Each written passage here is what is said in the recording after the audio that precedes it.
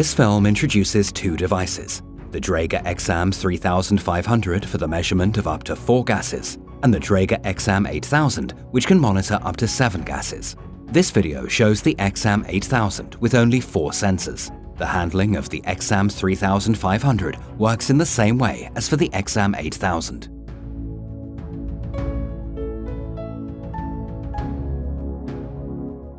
The Draeger X-am 8000 is a portable gas detector for clearance measurements in confined spaces and continuous monitoring of the concentration of multiple gases in ambient air in the workplace and in explosion hazard areas. The gas detector is able to measure up to seven different gases, depending on the Draeger sensors installed. The following sensors are available.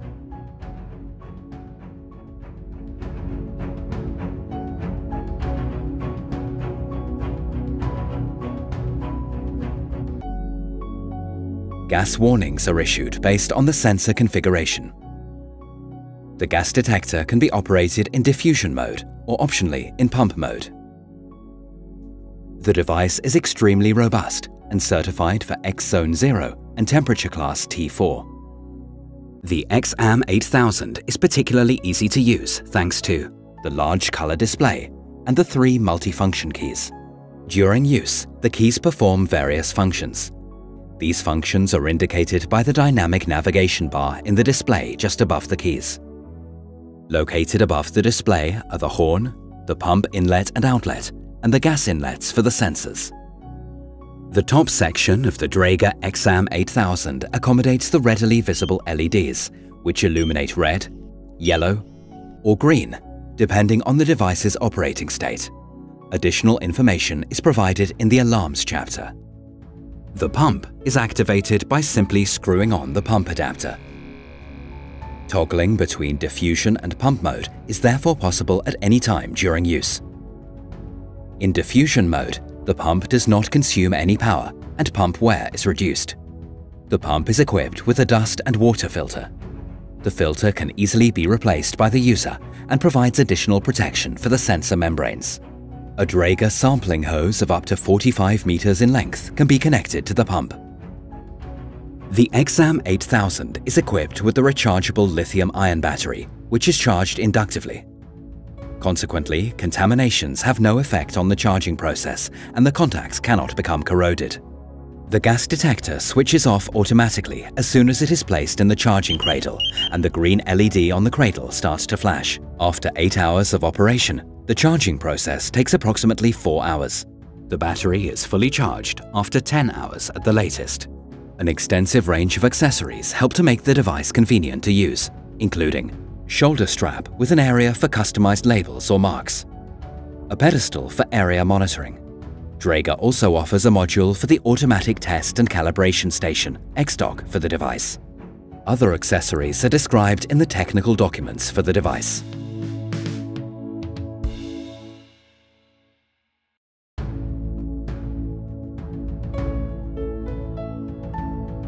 The X-am 8000 is turned on by pressing the green OK button for 3 seconds. Once successfully turned on, the device performs the following actions. The display shows the startup screen and the current software version. A self-test is then run.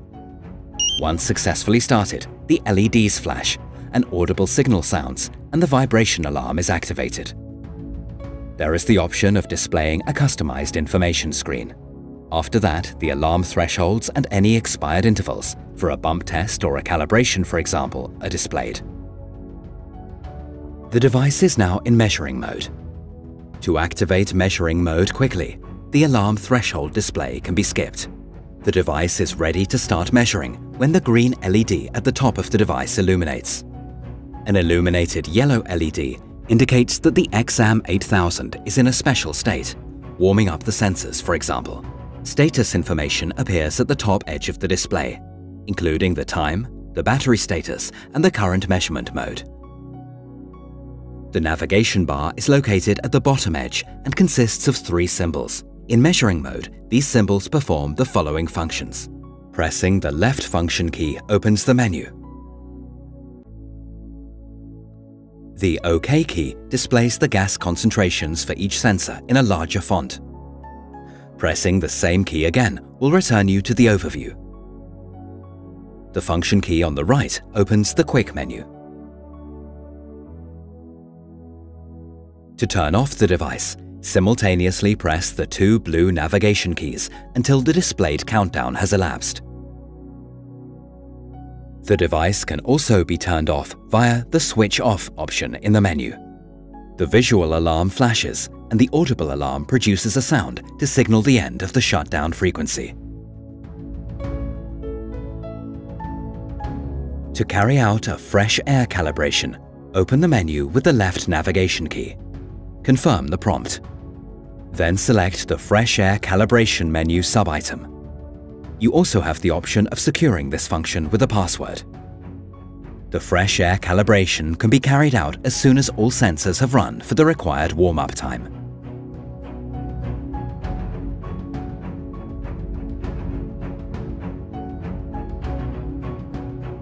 To launch the Quick menu, please select the star in measuring mode. You can save up to six preferred functions as favorites using the Draeger CC Vision PC software. The day-night mode for the display or audible signal muting, for example, can be selected for the quick menu.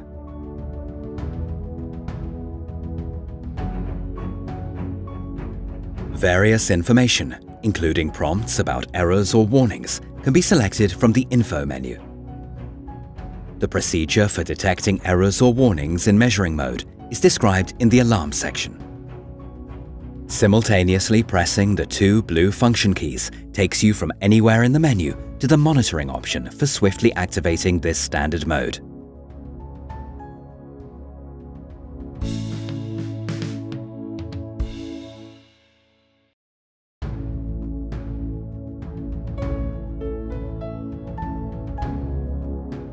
Generally speaking, you can change alarm thresholds and parameters using the Draeger CC Vision PC software.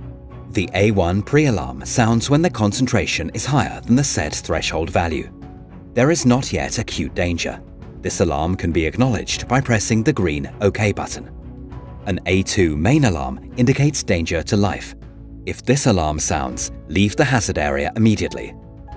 This alarm is non-acknowledgeable. The alarm display can be optionally supplemented by a hazard symbol.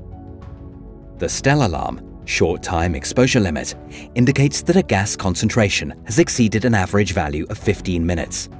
Leave the hazard area immediately. A TWA alarm, time weighted average, sounds when an average value, calculated from an 8-hour shift, is exceeded. You must leave the hazard area. The battery pre-alarm is triggered when the device battery has approximately 20 minutes remaining. The battery main alarm signals that the battery has reached the end of its capacity. The device then switches off automatically after a few seconds. If the instrument has an error present, an X symbol appears in the display. Once the alarm has been acknowledged, this symbol remains in the status line. Details of the error are shown in the Info menu. Resume your work with a different device and hand the faulty device to the service department. In case of a channel error, the device will need to be calibrated or possibly repaired. In case of a significant overrange, i.e. excessive concentration of flammable substances on the CAT-X channel, a blocking alarm is triggered. This alarm can be acknowledged by manually switching off the gas detector and switching on in fresh air. There is one exception to this. For methane, the CAT-X sensor offers the option of automatic range switchover within the range of 0 to 100 volume percent. In this case, there is no blocking alarm. This option is only available with the X-am 8000. An over-range alarm is triggered when the measuring range has been exceeded. The ambient air contains concentrations that exceed the measuring range of the sensor concerned. Leave the hazard area immediately. If the measured value falls into the negative range, a so-called underrange alarm is triggered. This situation can occur, for example, if a fresh air calibration has been carried out in a range within which concentrations were already present. Please carry out a fresh air calibration in an area where fresh air prevails. In case of a special state, the audible operating signal is deactivated. Special states are indicated by a yellow visual signal on the top LED. No alarm is triggered.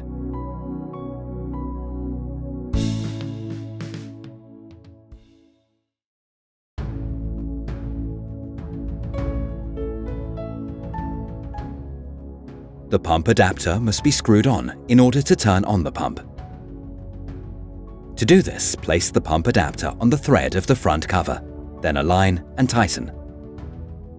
The pump will turn on automatically. Always use the pump adapter with the dust and water filter. The pump test will start automatically. Close the gas inlet at the end of the probe until the leak test is complete. Then release the gas inlet. If the leak test is successful, pump mode will be activated. If the pump test is unsuccessful, check the probe, hose and adapter as required and repeat the test. Once the device has passed the test, it is ready for operation in pump mode. Before every measurement, flush the sampling hose or probe with the target gas. Flooding is required to reduce negative influences, such as the gas transport time, for example. As a rule of thumb, a time of 3 seconds per meter can be assumed for standard gases. Wait until the values on the display appear stable. Special gases may require more time. Please note, after flooding with aggressive gases, purge the pump with clean air for several minutes in order to extend the pump life. To end the pump measurement, loosen the pump adapter screw and pull off the adapter. The instrument will automatically switch to diffusion mode.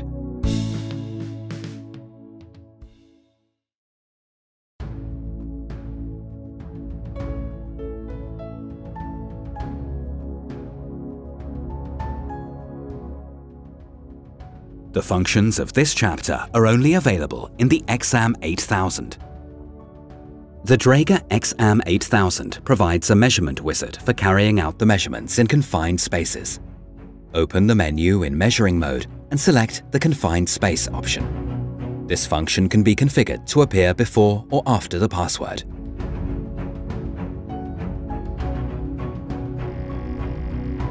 Then follow the prompts given by the wizard.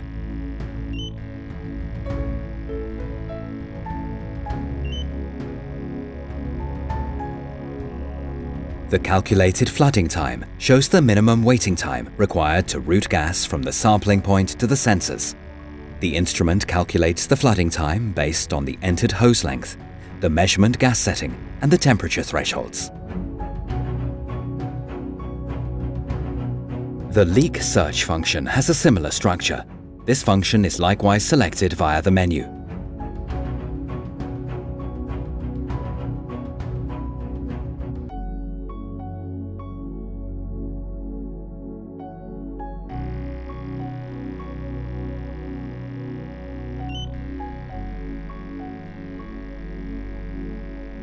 Once the pump test is completed successfully, a window will appear in which the gases can be displayed in the form of a bar chart.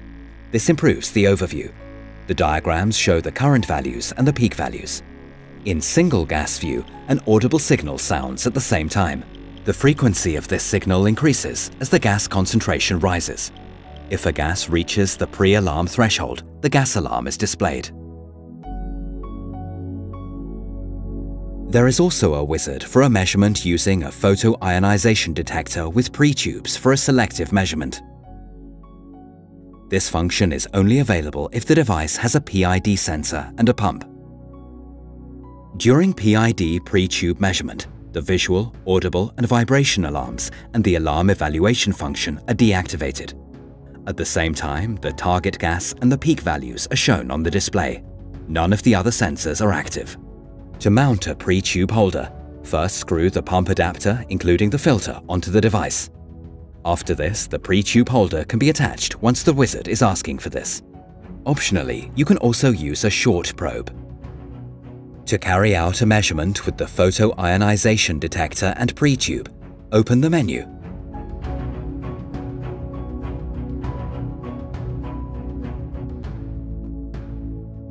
and select the Benzene Pre-Tube option. You will then see a dialog for the fresh air calibration. Carry out this step using a carbon pre-tube or skip the step by left-clicking on X. During this process, the carbon pre-tube will remove any existing hydrocarbons. Follow the prompts given by the wizard.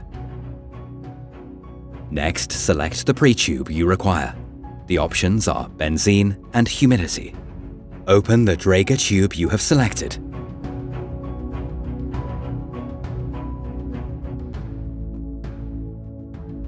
And fit it into the pre-tube holder. Pay attention to the direction of the arrow.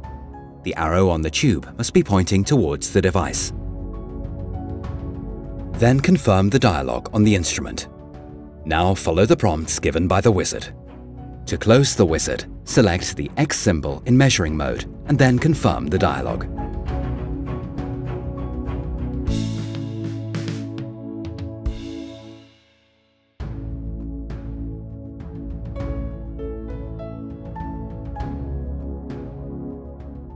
The instrument has an infrared interface. You can connect your device to a PC via a USB cable. The CC Vision PC software, which you can download from www.draeger.com/software, allows you to change settings on the device, read and or delete the data logger. Before carrying out safety-relevant measurements, check the function by means of a bump test and inspect all alarm elements. If national regulations exist, the bump test must be performed in accordance with these regulations. A malfunction may lead to incorrect measurement results, which in turn can cause serious damage to health. The bump test checks whether the gas entries are free, the sensors react to gas, and the alarm elements are triggered. If the device fails the test, perform a calibration. The calibration procedure is described in the technical manual which is available on the product page at www.draeger.com. You can also carry out a bump test using Draeger X-Dock, the automatic test and calibration station. Insert a device into the module.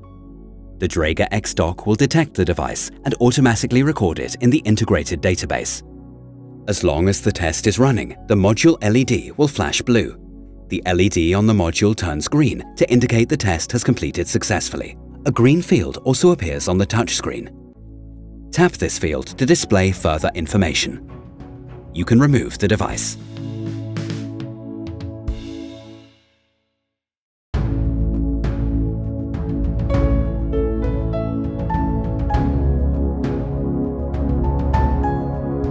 The X-am 8000 can be ordered with an optional Bluetooth module. For many countries, this module is already pre-selected as a factory setting. However, it is possible for the Draeger service team to retrofit the module.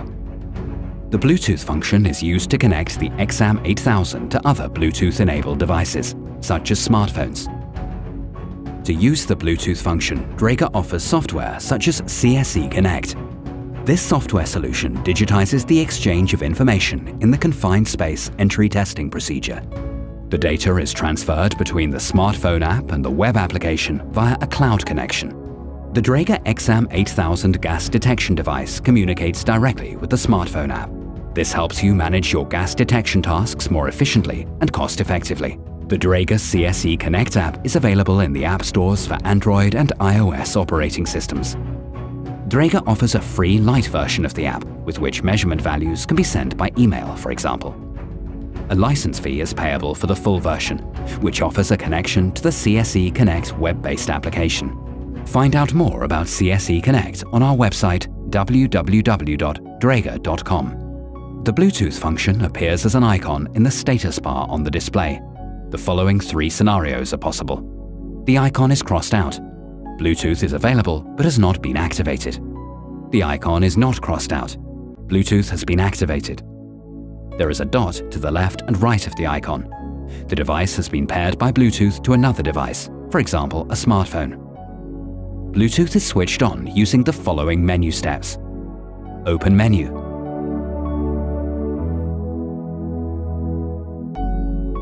Log in using password. Open the Settings menu item.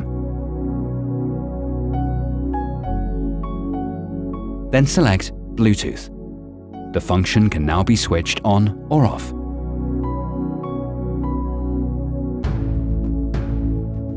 The X-am 8000 can be connected to suitable smartphones in order to use the optional Draeger CSE Connect app. To do so, proceed as follows. Bluetooth must be activated in the X-am 8000 and on the smartphone. Open the CSE Connect app and select Connect. select the X-am 8000 gas detection device. If multiple instruments are within range, you can identify the selected device by its serial number, which is imprinted on the gas detection device. To be able to do this, the device must have already been connected to the smartphone once before. In older versions of the app for the Android operating system, it is also possible to identify the device via its MAC address.